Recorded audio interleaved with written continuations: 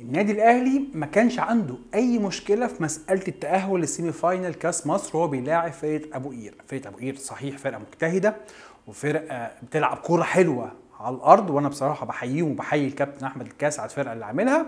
ولكن في المجمل ما نقدرش نقول إن كان في تكافؤ فني ما بين الفرقتين خصوصا بعد البداية القوية للنادي الأهلي هدفين ولعيب أبو قير اتطرد لما خد إنذارين ورا بعض وبالتالي الأمور اتسهلت. وحاجة تانية أنا مش هحلل النهارده الماتش بشكل كامل لأن بيتسو موسيماني مدير فني الأهلي لاعب بتسع لاعبين جداد على التشكيل الأساسي للنادي الأهلي بداية من رامي ربيعة محمود وحيد أحمد نبيل كوكا العربي بدر جيرالدو أحمد الشيخ حمدي فتحي اليوباجي. كل دول مجموعة من لاعبين أول مرة يخشوا التشكيل الاساسي النادي الأهلي وبالتالي التحليل الفني لفرقة نقدر نقول متجمعة عشان تلعب المباراة دي هيبقى أمر مش منطقي. ولكن في وجهة نظر شخصية أهم حاجة حصلت للنادي الأهلي النهارده هو هدف أبو قير اللي دخل مرمى محمد الشناوي.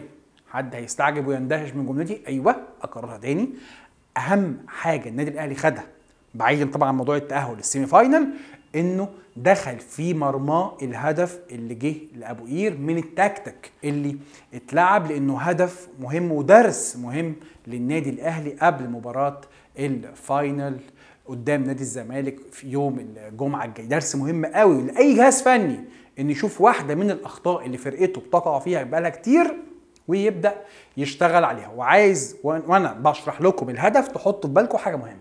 تحطوا في بالكم الهدف بتاع نادي الوداد في النادي الأهلي في إياب final 2017 افتكروا الهدف ده كويس جدا عشان هنتكلم عليه وأنا بحلل هدف أبو قير وافتكروا برضو بعض الكرات اللي كانت بتتلعب على عرض قريبة لمرمى النادي الأهلي وكان مدافعين النادي الأهلي دايما بيفشلوا في التعامل معاه. كابتن أحمد الكاس في البداية لعب بطريقة أقرب إلى 4 5 1 وأنا بحييه حاول يقفل نص الملعب لعب بطريقة فيها تقفيل لعمق ملعب النادي الأهلي. ولكن المشكلة طبعا في البداية حمى النادي الأهلي كانت قوية جدا ونادي أبو قير طبعا طلب منه لاعب فكان صعب جدا إن الفرقة تقدر تجاري النادي الأهلي. لكن يشكروا على مجهودهم وعلى الهدف. طبعا في مجهود كبير قوي وتكتيك حلو اتلعب واتفضت مساحة.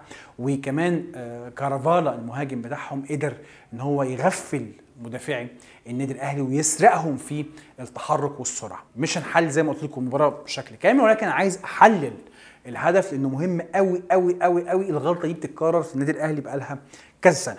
هنضطر طبعا في البداية نشيل لاعب من نادي أبو قير لأن هم لعبوا منقوصين في العدد بعد أعتقد أول ربع ساعة. وبالتالي وقت الهدف كان الفريق بيلعب ب 10 لاعبين. تخيلوا نادي أبو قير بيحط هدف في النادي الأهلي بكرة عرضية وهو بيلعب ب 10 لاعبين. عايزين نرص بس الهجمة. نادي أبو قير قدر إن هو يفرغ المساحة على الجانب الأيسر للنادي الأهلي. كان بيشغلها محمود وحيد وقدامه أحمد الشيخ بيرجع معاه تمام كده؟ الكره هنا اتفرغت وأول غلطة عايز أتكلم عليها كانت عند أحمد الشيخ. ليه بقى أحمد الشيخ؟ وإحنا بنتكلم دايما يا جماعة على خطة 4 2 3 1 أو 4 3 3 على طول لازم نحط على ال winger بعض المسؤوليه الدفاعية مع ال full back.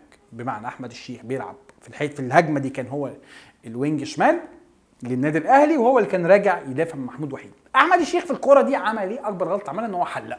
أكبر غلطة عملها في الكرة دي إن هو حلق. كان يقدر يضغط على حامل الكرة نادي أبو قير ويقدر يستخلص منه الكرة. لكن هو فضل يحلق عليه بس وسابه يمشي في الحتة دي لغاية لما قابله محمود وحيد. محمود وحيد مش هقدر أحمله مسؤولية الهدف كاملة يعني جزء من مسؤولية الهدف لأن أنا بالنسبة لي الفول باك ربما بيفشل في إيقاف الكرة العرضية. مش سهل إن أنت تحط رجلك بسهولة وتعترض الكره مش أي لاعب برضه يعمل دي خصوصا كان محمود وحيد برضه جسمه قليل والكرة ممكن تبقاش متجهة لجسمه فمش عايز أحمله المسؤوليه كاملة. ولكن أكيد من مهام الفول باك إنه يحاول على قد ما يقدر إنه يمنع إرسال كرات عرضية كتير. بس الفكرة إن كل المنطقة دي يا جماعة ساعة الكورة ما اتلعبت كل المنطقة دي فاضية. المنطقة دي كلها فاضية. وكارافالا مهاجم أبو قير جاي من هنا. وطبعا العربي بدر كان دخل وغطى عشان يعمل الدور بتاعه كمساك في الكرات العرضية اللي جاية من الجهة العكسية. عشان طبعا أساسيات كرة القدم لو الكرة العكسية جاية من الناحية الشمال يبقى الفول باك اليمين بيخش يضم لجوه عشان يعمل دور المساك ويساعد زمايله. ياسر إبراهيم في اللعبة دي كان واقف هنا في الحتة في الجزء ده. وما كانش معاه أي لعيب من ابو قير إحنا طبعا بنتكلم على فريق بيلعب منقوص من العدد فاستحاله أصلا هم يفتحوا خطوطهم قدام الأهلي.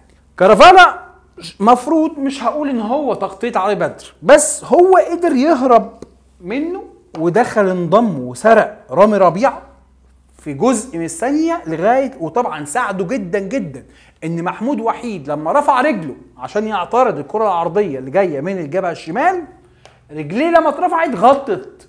التسلل بتاع كرفال لو كان محمود وحيد وقف ما رفعش رجله كان كان كرفالا بقى تسلل والجون ما اتحسبش. بس بعيد عن التسلل برضه كنا هنقعد نحلل الجون ده. الكرات العرضية يا جماعة ليها أشكال كتيرة جدا. بس أهم شكلين في وجهة نظري الكوره العرضية الأرضية اللي بتتلعب إلى حد ما على العرض القريبه دي بتبقى خطرة جدا جدا وصعبة جدا على الدفاع نتعامل معاها. والكرات العالية اللي بتتلعب في لمهاجم عنده جامب جامد أو لعيب طويل كرات عالية وتقدر تنزل ورا المساكين. وبالتالي بنشوف فيها خطورة كتيرة. الكرة اللي بنتكلم عليها دلوقتي الكرة بتتلعب بارتفاع متوسط الكرة مش عالية. الكرة بتتلعب بارتفاع متوسط سريع وبتتلعب على الأرض لحد ما. وبالتالي هنا مفيش أي استغلال خالص للهيد. خلاص كرة جاية جاية لنا عند الوسط. فمستحيل طبعا إن أنت تنزل بدماغك. خلاص دماغك خرجت بره. اللعبة تمام. ده بتكلم على كره عرضيه أول نقطة عند الأهلي ياسر إبراهيم ما قدرش يرجع للمسافة الكافية بسرعة عشان يساعد رامي ربيعة في التغطية داخل منطقة الجزاء. وبالتالي لو أنا بتكلم ياسر إبراهيم لو موقعه بدل ما هو هنا أهو شلناه وحطناه هنا أهو كان يقدر يعترض الكرة العرضيه دي بسهولة ويطلعها. لكن هو ما لحقش يرجع. فده تاني خطأ أنا بشوفه. أول خطأ أنا اتكلمت عليه عند أحمد الشيخ لأن هو كان قريب جدا من حامل الكرة. لعب أبو قير وكان يقدر يضغط عليه بدل ما يحلق لأن جزء من التغطية زي ما اتفقنا لل winger في أي طريقة 4 2 3 1 أو 4 3 3 لازم ترجع تدافع مع ال full back في الهجمات اللي من الجنب بتاعك. ده ضروري جدا. طيب محمود وحيد فشل في إنه يغطي الكورة أو يمنعها من الوصول. ياسر إبراهيم تمركزه ما كانش صحيح واقف بعيد وما كانش معاه أي حد. حتى ممكن ياسر إبراهيم يقول إيه مثلا أنا واقف هنا أهو لأن كان في بعض اللاعبين من أبو قير بيحاولوا يخشوا. كانت ممكن الكوره بدل تتلعب عرضية تتلعب على مشارف منطقة الجزاء فاكرين زي الكابتن محسن صالح ما كان بيعمل مع النادي الإسماعيلي في 2001 سايب معوض يفضل يجري بالكورة يجري بالكورة ويحط يحط الكورة على مشاهد منطقة الجزاء لمحمد بركات ده ممكن يبقى كلام منطقي ولكن ما كانش فيه لعيبة لابو قير بره منطقة الجزاء كانت ممكن الكوره تلعب لهم بره ما كانش فيه. فبالتالي طبيعي إن أنت تحاول تجري عدد منطقه لغايه لما توصل للمنطقة اللي جنب العرض القريبه عشان تقدر تشتت الكوره طيب ياسر إبراهيم ما قدرش. نيجي بقى عند الخطأ الكارثي اللي حصل هنا عند رامي ربيعة. وطبعا هنحمل شوية على البدر لأن برضه هو كان خلاص دخل ضم كمساكي داخل منطقة الجزاء لكن الكارثة إن كارافالا قدر يغفل الناس دي كلها وخطف العارضه القريبه آه الكره جت من هنا أهو ولكن هو خطف الكره من العارضه القريبه نفس الجون بالظبط تيبيكالي بتاع الوداد في 2017 لو تفتكروا الكره اتلعبت ودخلت في الشريف إكرامي في العارضه القريبه نفس الغلطة. واحدة من المشاكل اللي عند النادي الأهلي هي التعامل مع الكرات العرضية. والكرات العرضية هي واحدة من أهم سمات هجوم نادي الزمالك. هجوم نادي الزمالك هجوم قوي جدا جدا جدا. بيعتمد على الكرات العرضية مصطفى محمد. فدي نقطة لازم النادي الأهلي يبقى واخد باله منها. دي غلطة عندك. وميزة إنك شفتها النهارده في ماتش المفروض ماتش سهل قدام أبو قير. فالنادي الأهلي بقول ميزة إنك الكرة دي تحصل معاك في الماتش الرسمي الوحيد والماتش الوحيد اللي ليك قبل ماتش ال final قدام نادي الزمالك. وبالتالي الحتة دي بينت إن في مشكلة خصوصا خلي بالك في نقطة مهمة جدا.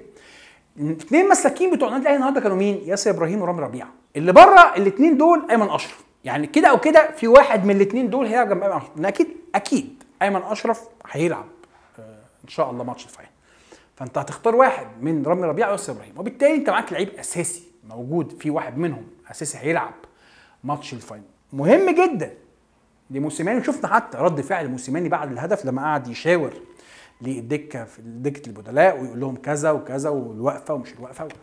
هي الأزمة. الغلطة إن أنت ما تسيبش المهاجم يسرق كل المساحة دي منك. ليه؟ لأن أنت جاري ومش باصص. أنت مش شايف هو فين. انت مش شايف هو فين هو بيعمل إيه وراك.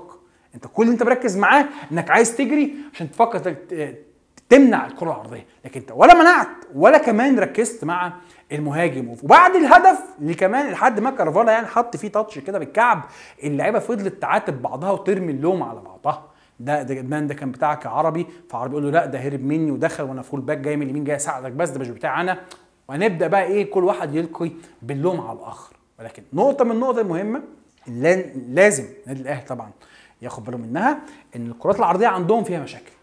النادي الأهلي عنده مشكلة في الكرات العرضية في finals كتيرة شفناها في آه، مباريات أفريقية كتيرة وحتى مباريات في الدوري. المشكلة في الكرات العرضية. وحتى في ماتش 3 1 افتكروا مصطفى محمد عامل jump كرة اتلعبت كرة عرضية.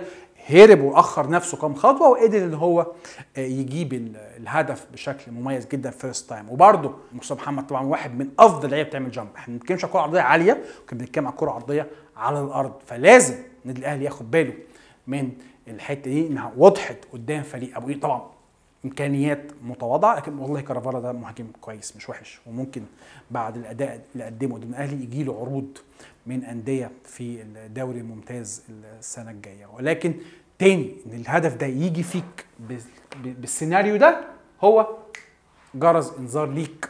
مهم في وقت مهم عشان الجهاز الفني ياخد باله. دي نقطة مهمة. أنا كنت عايز بس أركز على الغلطة اللي النادي الأهلي وقع فيها النهاردة وهدف. أبو قير أكيد طبعا مليون مبروك للنادي الأهلي التأهل ل semi final كأس مصر. يلعب مباراة طبعا مهمة جدا قدام نادي الاتحاد يوم 1 ديسمبر بعد نهاية طبعا نهائي دوري أبطال أفريقيا. semi final قوي قوي نادي الاتحاد يعني بيعمل استعدادات كويسة جدا اليومين دول وأكيد هنشوف مباراة آه، كويسة وأكيد هيبقى متأثرة بنتيجة ال final شوية لكن semi final قوي. من النادي الأهلي ونادي الاتحاد هيبقى semi final قوي جدا والاقدر واللي ربنا سبحانه وتعالى يوفقه أكتر يبقى يتأهل ل final آه، الكاس. ده كان تحليل سريع لمباراة الأهلي وأبو قير. شكرا جزيلا ليكم وإن شاء الله أشوفكم في تحليل بقى ماتش ال final هنعمل حلقتين بإذن الله للنادي الأهلي ونادي الزمالك قبل ال final و- أو ممكن نعملهم حلقة واحدة. لسه ما خدتش قراري يعني بس لسه هنعمل preview لمباراة ال final وإن شاء الله أشوفكم بقى يوم الجمعة يوم الكبير يوم final نهائي دوري أبطال أفريقيا. شكرا جزيلا كنت معاكم كريم.